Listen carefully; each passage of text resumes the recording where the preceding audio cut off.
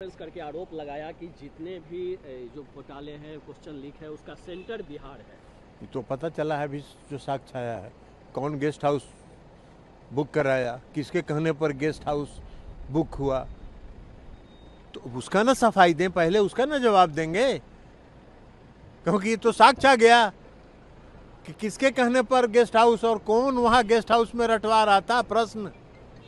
इस पर सफ़ाई दें। सफ़ाई देने के बजाय अनर्गल आरोप लगाने से काम नहीं चलेगा। आर्थिक अपराध अपराध इकाई जाँच कर रही है और साक्ष्य जिसके खिलाफ मिलेगा कार्रवाई करेगी। दूसरी तरफ़ आज ऑपोजिशन ने प्रोटेस्ट मार्च निकाला और हाथ में संविधान की कॉपी लिए हुए थे। गंभीर आरोप लगा रहे थे कि संविधान खतरे में है। कहाँ संविधान? कौन सी का संविधान खतरे में? कहाँ संविधान खतरे में?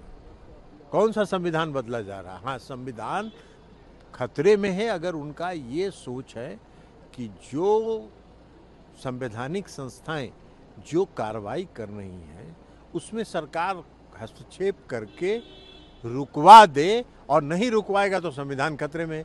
अरे सरकार का कहाँ है जो संवैधानिक संस्थाएँ वो अपना कार्रवाई कर रही हैं? जैसा करिएगा, वैसा भरिएगा। तो जैसा किए हैं, वैसा करिए। उसके कार्रवाई के लिए तैयार रहिए। और को अदालत में मुकदमा लड़िए। कोई संविधान खतरे में नहीं है, संविधान सुरक्षित है।